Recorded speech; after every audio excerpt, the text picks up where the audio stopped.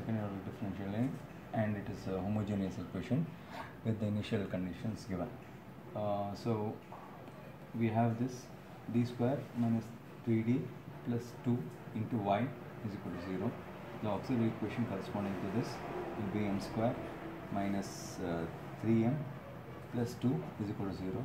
So the roots are m are 1 and 2. So you get y is equal to c1 e to the power of x, c2 e to the power of 2x. now let us find what is y dash. c1 e to the power of x and 2c2 e to the power of 2x.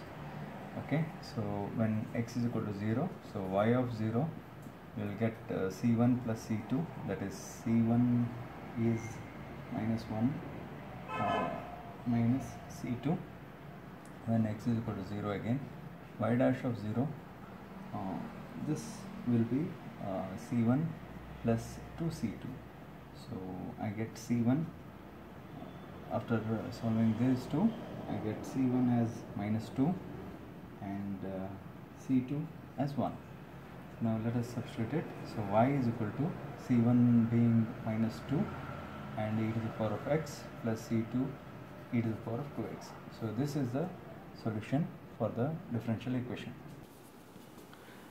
let us uh, solve this by using uh, Laplace transforms. So applying Laplace transform on both sides of the equation I get this.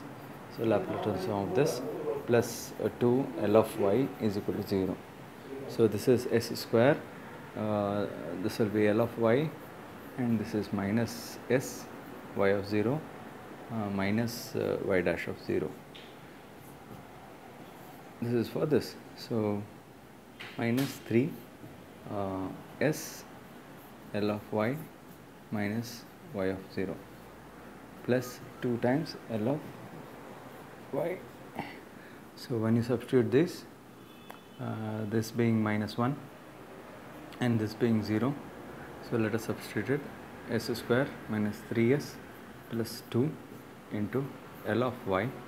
So this will be uh, minus and this is plus. So I get s minus or uh, this is 3 so 3 minus s. So L of y is equal to 3 minus s divided by s minus 1 and s minus 2 so uh, after finding the partial fractions for that so I get this. So y is equal to L inverse of this is minus 2 by s minus 1 and L inverse of 1 by s minus 2 so I get y is equal to minus 2 e to the power of x and this is uh, e to the power of 2x so this is the solution of the differential equation